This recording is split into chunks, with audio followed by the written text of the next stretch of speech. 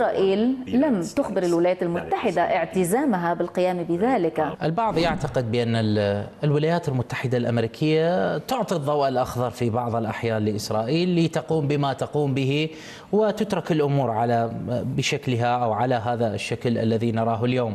هل تعتقد هل الولايات المتحدة فعلا لكي يفهم المشاهد تعطي الضوء الأخضر لمثل هذه العمليات خاصة وأنها لا تطال المفاعل النووي وهذا قد يكون أهم ما في الأمر؟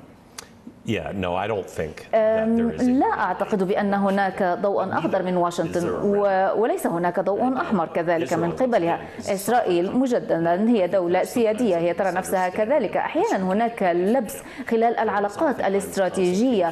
آه، هناك استشارات وما إلى ذلك. ولكن مثلا التفجيرات تفجير المنشآت النووية السورية في 2007 إسرائيل لم تخبر الولايات المتحدة اعتزامها بالقيام بذلك. ذلك حسنا.